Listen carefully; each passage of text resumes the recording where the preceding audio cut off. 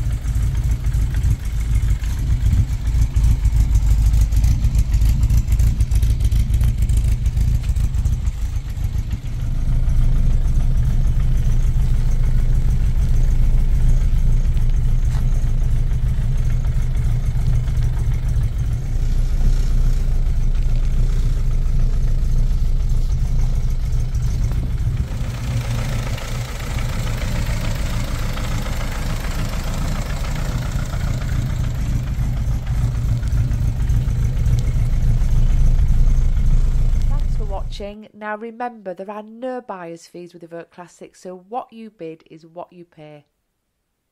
Bye for now.